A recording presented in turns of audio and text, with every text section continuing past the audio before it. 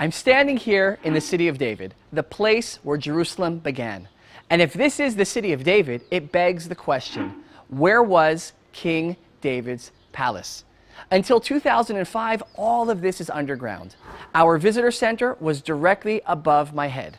One morning, a woman named Dr. Eilat Mazar comes into our offices and says to us, You need to move your visitor center. We asked her why.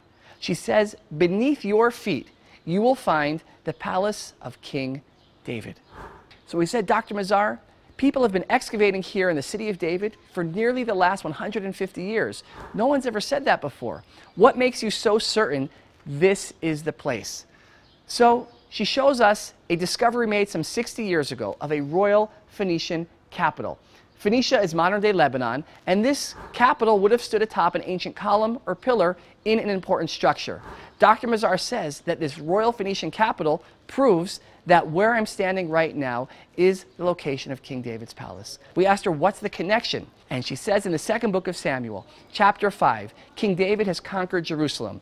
Immediately afterwards, he turns to his neighbors in the north, the Phoenicians, and in verse 11 it says, King Hiram of Tyre sent envoys to David with cedar logs, carpenters, and stonemasons, and they built a palace for David.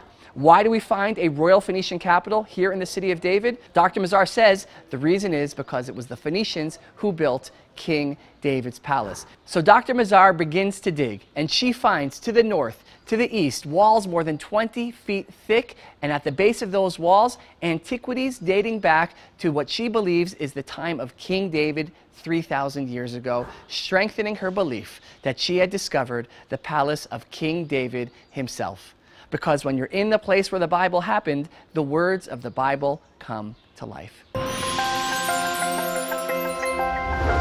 The city of David, where it all began.